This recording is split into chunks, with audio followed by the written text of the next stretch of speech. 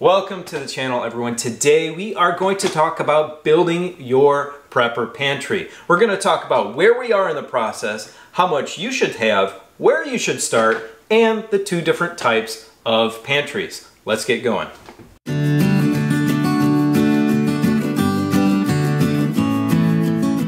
Today's video is brought to you by Skillshare.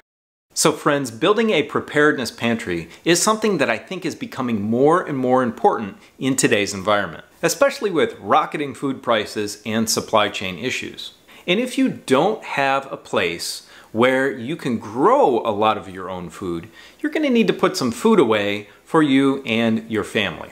Now, even though we do grow a lot of our own food, we still do put other stores away that we don't grow yet here on our homestead. And that's things like rice, flour, sugar, etc. Now we use several different methods to store food and we're going to talk about those a little bit later in the video. But right now, let's talk about how much you need. And when talking about how much you need, you need to think about calories.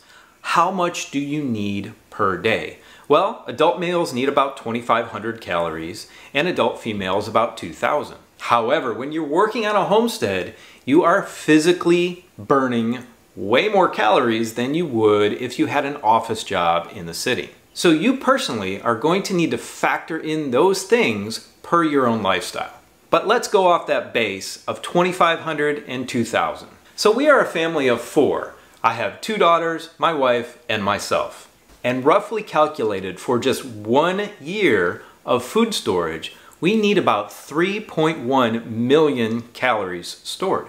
Now you're thinking to yourself, that's a lot. But I don't want you to get discouraged. I want you to start where you're at and build up. You can build up slowly, you can build up quickly. Just start the process, you'll be all right.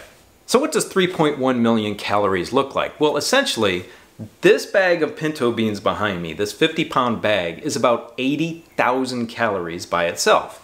And this bag of rice, this 50 pound bag of rice, is about 30,000 calories.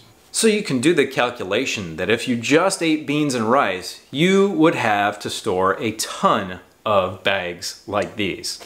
So of course you're gonna add other things into your diet. Let's take for example, this little one pound bottle of honey. This has about 1400 calories in it.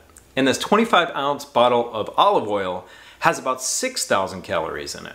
So if you are going for a one year storage pantry, you will be able to plan out your meals, kind of calculate the amount of calories that are in all of those meals, or if you use plain food, it's much easier, and arrive at what's best for you. And the reason I'm not going to calculate everything for you is because everybody's diet is different. For us, we're vegetarians, so we've taken the meat out of that and replaced it with a lot more beans and things like that. Now is the perfect time to tell you about today's sponsor, Skillshare. As y'all probably know, I am always looking for ways to improve these videos for you, and that includes building my knowledge in video creation, editing, and other areas. If you didn't already know, Skillshare is an online learning community that has thousands of classes to help you acquire and learn new creative skills. Right now, I'm still taking a class called Cinematography Basics by Zach Mulligan. My goal is to improve how our videos look so that I can better visually communicate our story or project to you.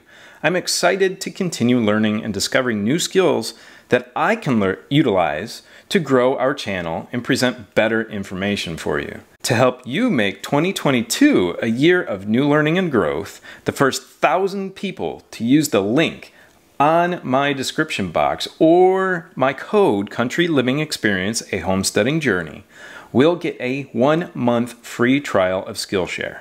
After that, they offer an annual membership for less than 10 bucks a month. That's pretty cool.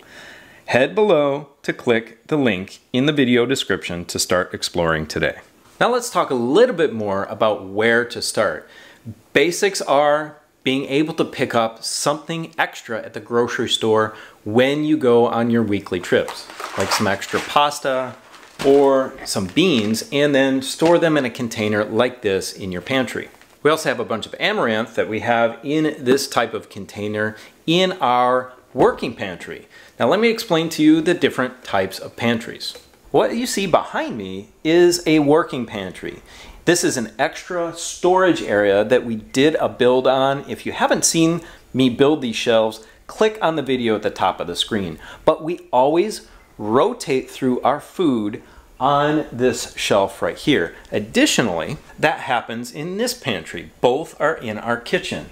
And we continuously rotate through our food and we keep a little bit extra. You can see all the beans, the cans of beans here and coconut milk. We rotate through these all the time. But we also store vegetables that we harvest from the garden, at least those that don't need to be refrigerated, like these sweet potatoes and our garlic. And while we are constantly eating through these, and these do keep for a long time just sitting like this, we are also preserving these at the same time. You can see everything from rice and beans and flour here to canned peppers and pears and lentils, things of that nature. And then also down here, we've got some snacks like this berry trail mix from Sam's Club.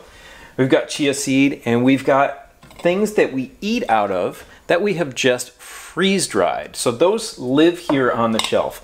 I haven't packaged those away for long term. We've got freeze dried grapes. These are kind of snacks and things that we can eat all the time. And we will rotate through those. So these two pantries are our working pantry. Let's go talk about the other one. So we are now in our long-term storage pantry. This room itself is usually very dark. I've opened things up so you can see me on the camera and it is hyper insulated. In here we have a freezer and we also have mostly freeze-dried food or we are building up our freeze-dried stores.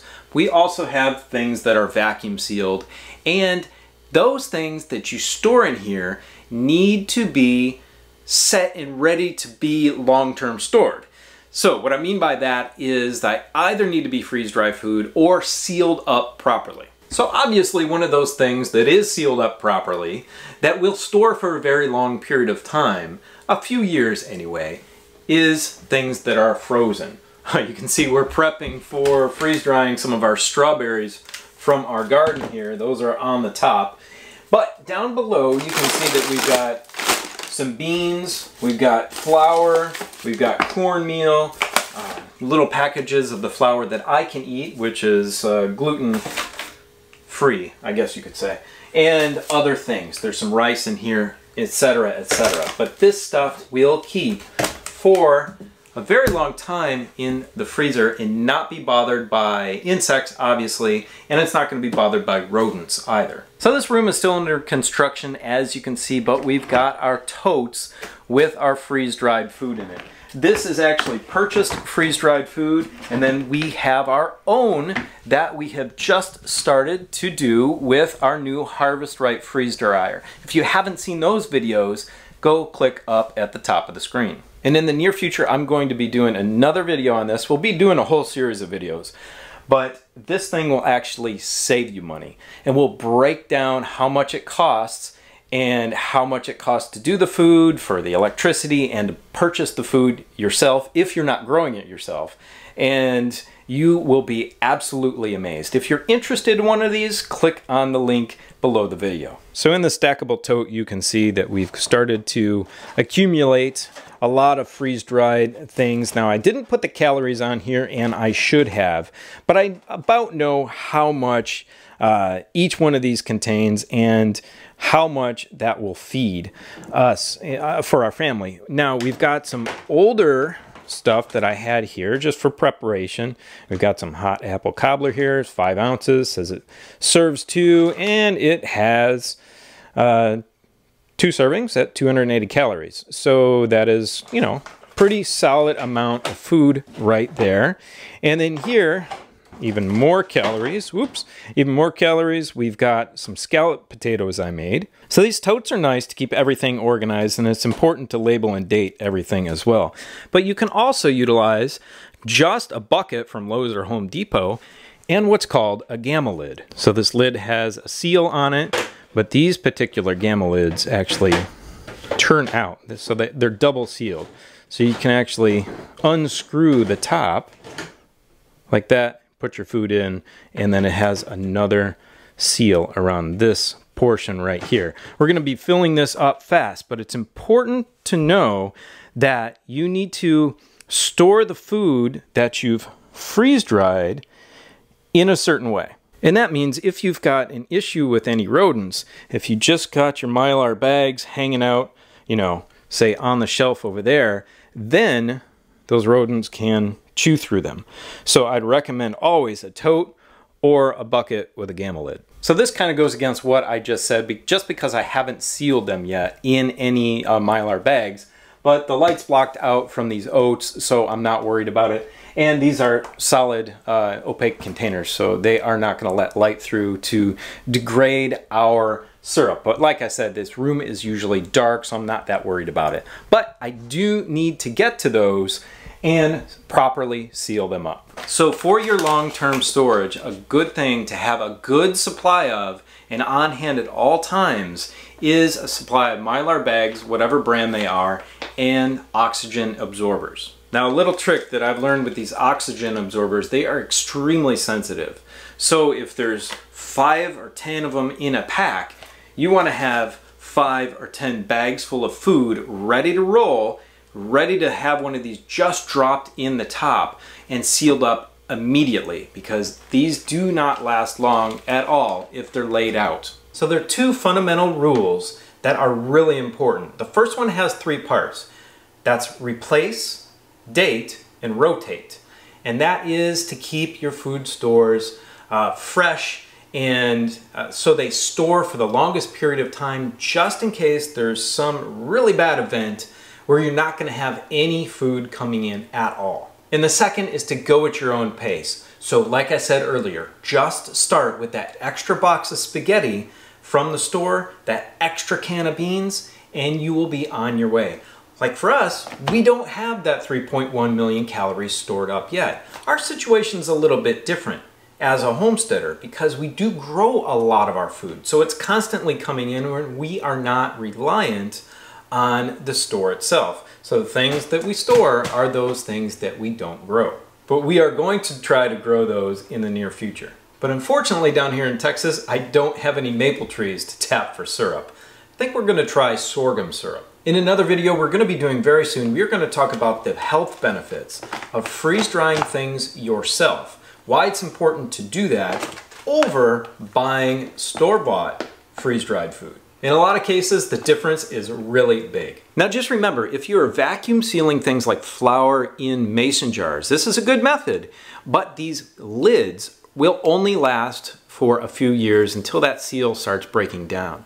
You need a good high quality lid to be able to last upwards of five years for this process. We use lids from a company called ForJars and the link is in the description below if you want to check them out. They are top quality. Now go check out this video right here which talks about the six crops that you should grow in your survival garden that have the highest calories, the highest nutrient density, and that are the easiest to grow. Have a great day. We love you. See you next time. Bye.